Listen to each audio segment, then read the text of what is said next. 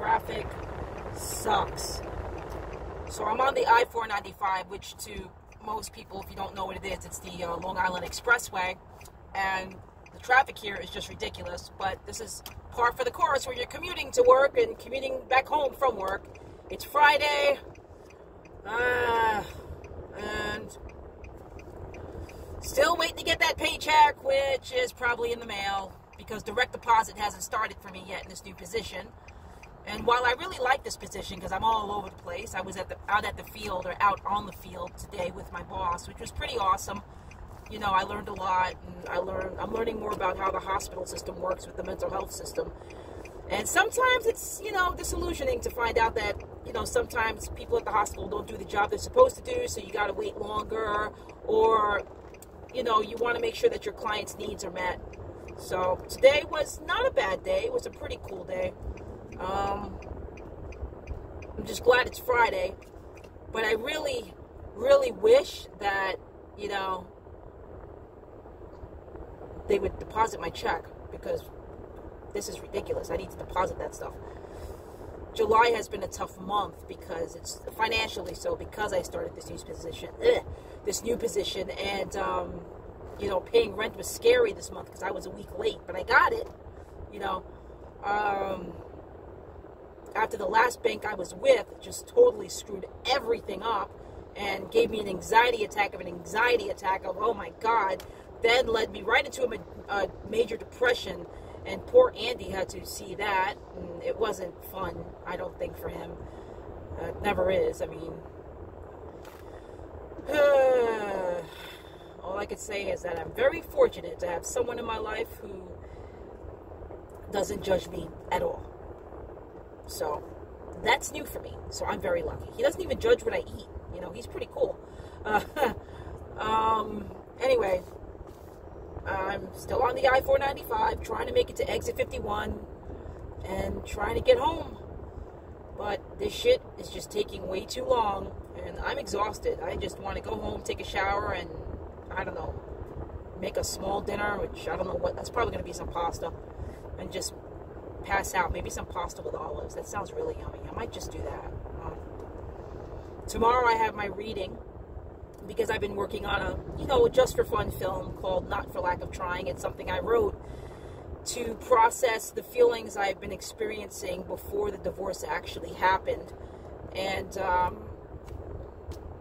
it was a good I, I mean, it's not a, it was a good therapeutic thing, very good catharsis for me, but it's definitely nowhere near an Oscar winner. Hell, it's not even, I don't even think it's a winner really, but that's why it's going on YouTube because I don't expect to become famous from this. I don't want to market this. I just want to do this for fun. You know,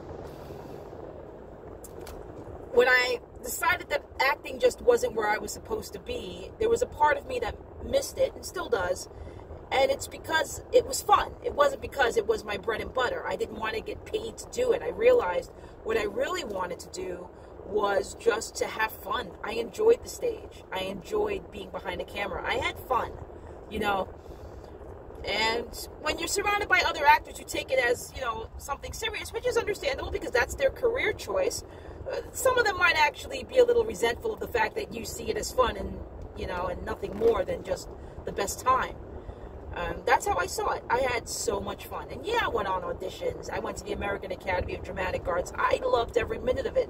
It was hard for me to come out of my shell. I was always so nervous. I still am. You know, I still have my anxiety, but when I get into it, I have fun. And once I have fun, I let go. So, writing the script was a lot, and uh, it was a lot of interesting things for me and the cast that I'm working with are also a group of good friends and new friends, you know.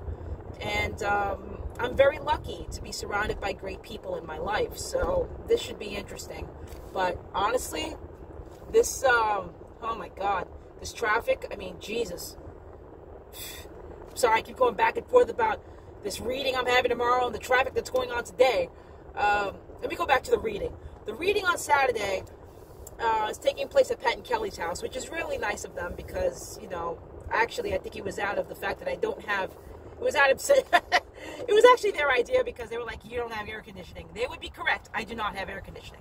I'm supposed to order one this week, an air conditioner, but I don't know if that's actually going to happen now due to my financial circumstances.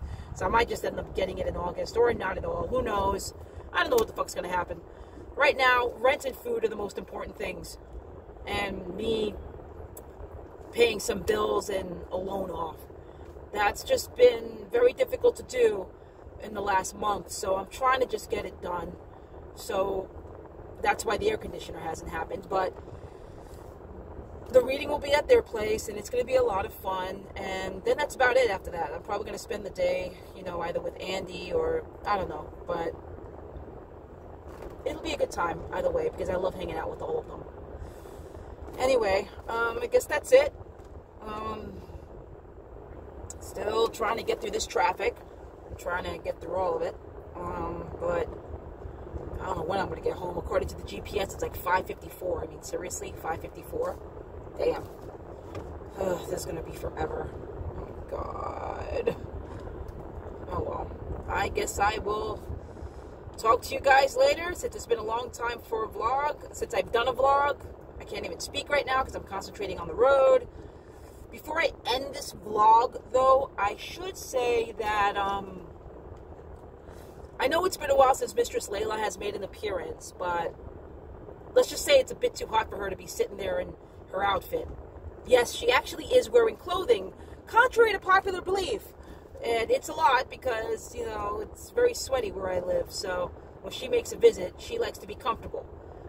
The last visit was hard because she was sweating up a storm to the point where the mask kept sliding off her face and she had to keep adjusting it. So um, eventually she'll make she'll make another appearance, but she'll probably make an appearance later in the fall. So until then, it'll just be my boring old self. So enjoy the weekend, folks. Enjoy the weekend. It is the dog days of summer. Can't believe July is almost over. We're hopping on to August already. This year went so freaking fast. And August, well, that's a special month for me. And I'll get into that when the time comes. Till then, ciao.